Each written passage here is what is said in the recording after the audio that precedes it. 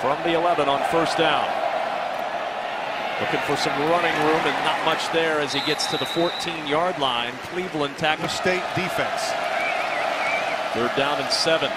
Knapke to the air. Nice move, and then the ball knocked out as he hits the ground. The ball is loose. It is scooped up by the Buckeyes. Ohio State gets the turnover, and Damon Webb takes it from the 25, first down.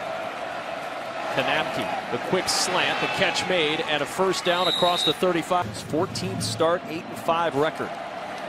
On first down, a little hesitation by Fred Coppet, then he bursts forward to the 41. Dante Booker on the tap. Yep. Knapke over the middle. Nice catch by Ronnie Moore. Moore making a move and a first down into Buckeye territory. In it early. On second and 10, Coppet to the 44. Book.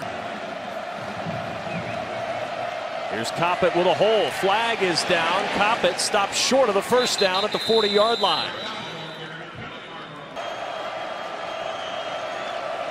Knapke to the sideline and out of bounds goes Ronnie Moore.